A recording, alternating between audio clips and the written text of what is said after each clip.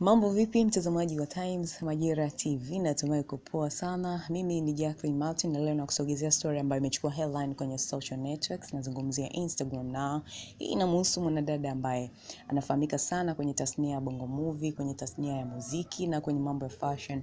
Huyu anaitwa Hamisa Mobeto. Hamisa Mobeto ni mwanadada ambaye anajishughulisha kwa vitu vingi sana kama hivyo nilivyosema, kwenye Bongo Movie unamkuta, kwenye music unamkuta, lakini pia kwenye mambo ya fashion unamkuta na hivi sasa ametrend sana kutokana na mahusiano yake, ambapo watu wanahisi kwamba huenda Hamisa Mobeto akawa na mahusiano na Fred Vunjabei ambaye ana maduka mengi sana ya nguo.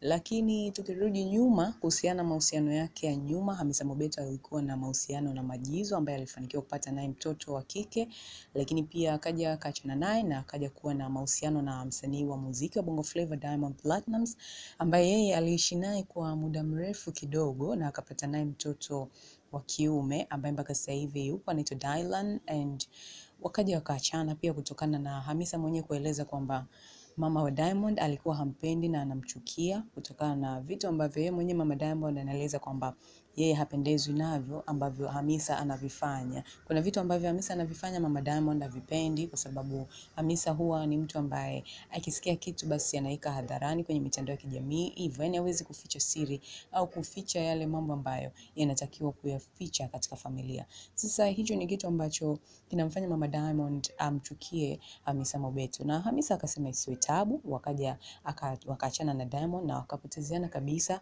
Akasema kwamba acha ni move on na maisha yangu, niendelee na maisha yangu, lakini baki tu malezi ya baba na mtoto, na ndio ilivyo sasa hivi. Tuliona hata kuna video ambayo ilionyesha kuna siku yuko na Diamond akiwa kwenye gari na mwanae wakiwa kama wametoka sehemu fulani hivi kama kuenjoy, na wako wakiwa na furaha wakijirekodi hivyo, lakini ni maisha ambayo yanaendelea hivyo sasa kwa Hamisa Mobeto kwamba Diamond na Hamisa Mobeto sasa hivi wamekuwa tu ni kama wazazi kwa sababu wameshazaa na wana mtoto mmoja ambaye ni Dylan. Lakini kwa sasa Hamisa Mobeto anaonekana kwenye mahusiano mapya ambayo yeye mwenyewe hajataka kuyaweka wazi, lakini kutokana na watu ambavyo wanavyotafsiri na vitendo ambavyo vinajionyesha kwenye mitandao inaonyesha kwamba Hamisa Mobeto anatoka na huyo kaka ambaye anaitwa Freddy Vunjabei. Freddy Vunjabei ni kijana ambaye ana maduka mengi sana ya nguo na yanapatikana sehemu mbalimbali, nguo za watoto, za wakubwa na za aina mbalimbali, viatu na kila kitu.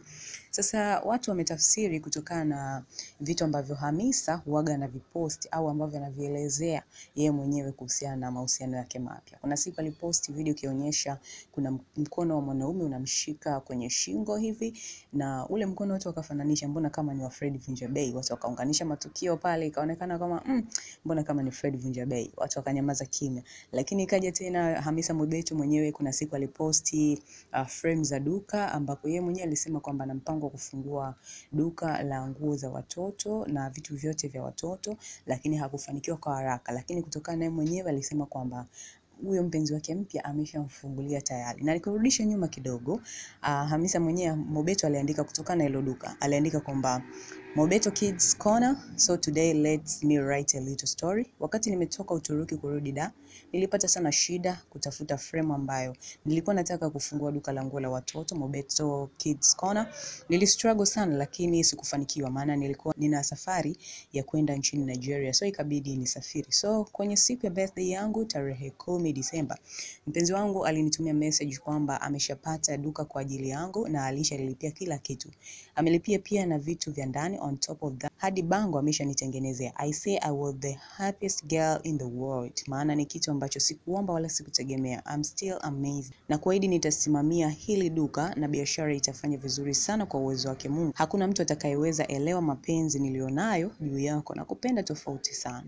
Sasa wapenzi, kama mlivyoweza nishika mkono mkanisupport kwenye Mobeto Stylish, basi naomba na hapa kwenye Mobeto Kids Corner msiniache. Hayo ni maneno ambayo aliandika Hamisa Mobeto kuhusiana na duka ambalo amefunguliwa na mpenzi wake. Watu wakaunganisha matukio, wakasema kwamba uh, Fred Vunja Bei ni mtu ambaye anauza nguo, viatu na vitu vyote ambavyo vinahusiana na mavazi, na huenda ikawa kwamba amemfungulia Hamisa Mobeto duka hili la Mobeto Kids Corner.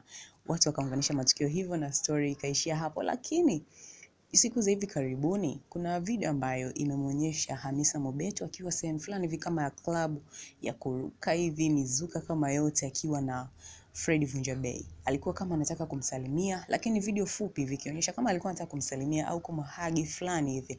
Watu wakasema huenda sasa ikawa kweli huyu eh, Hamisa Mobeto ndo mtu, mtu wake wa sasa hivi ambaye ni Fred Vunjabei. Watu wamezungumza sana kutokana na video hiyo, kwa sababu ni mahusiano ambayo Hamisa alijaribu kuyaficha, lakini kwa vitu ambavyo anavifanya au anaviweka wazi kwa sasa ni vitu ambavyo vinaonyesha wazi kwamba uh, Fred Vunjabei yuko na Hamisa Mobeto kwa sasa. Comment zinasemaje? Watu wanamwambia kwamba asiwe anajiweka wazi sana mahusiano yake kila anapopita, kila anapo, yani kila anachokifanya basi akiweke wazi, no, awe nakiweka private. Na wengine walikuwa wanafurahi kutokana na Hamisa Mobeto kuachana na mahusiano yake ya zamani na kuwa na mtu wa, na kuwa ni mtu wa furaha sana kuwa na mahusiano mapya ambayo sasa hivi yanaendelea, lakini mwenyewe Hamisa Mobeto hajathibitisha kama kweli anatoka na Fred Vunjabei, na ni video tu au picha ambazo zinasambaa kwenye mitandao zikimwonyesha kwamba Hamisa yuko na Fred Vunjabei. Ndio maana watu wanasema kwamba huenda watu hawa wakawa kwenye mahusiano. Mimi ni kuachie wewe mtazamaji wa Times Majira TV, comment hapo chini, usubscribe na uturn on notification kwa video hii hapa ambayo sisi tumekuwekea kwenye YouTube channel yetu. Mimi ni Jacqueline Martin.